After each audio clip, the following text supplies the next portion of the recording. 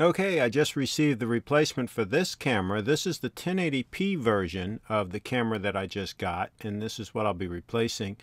And it's very similar camera, but 4K UHD. And by the way, don't skimp. Buy the Extreme Pro card, a nice fast card, because otherwise it's not going to handle recording the 4K at the bit rates that this camera will record. So make sure you get a nice fast professional card.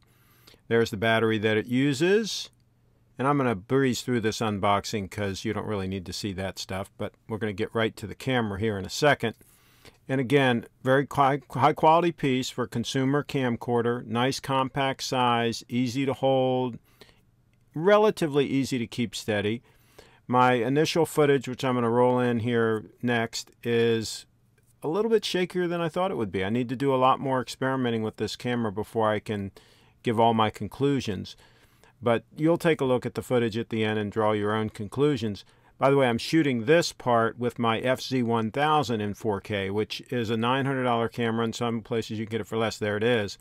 Fantastic camera. It's going to take a lot for this Sony to unseat that camera as my main go-to camera. This FZ1000 has the one-inch sensor in it, which Sony claimed this other camera had, but of course it doesn't. It has a much smaller sensor. Uh, and I have another video on their website. There, by the way, here's some footage I'm rolling in, and this is these are all just the factory settings, 4K at 100 megabits a second, and that's the highest quality. And and again, no tweaking, nothing in post, and it's a real overcast, almost dark, uh, six o'clock p.m. Getting dark at 6:30 here, so not a whole lot of light, but that's fully zoomed in and then you're going to see here I'm going to zoom back out from this light so you can see kind of like the zoom range. More coming, so stay tuned. I'll have a full review coming in a few days. Thanks for watching.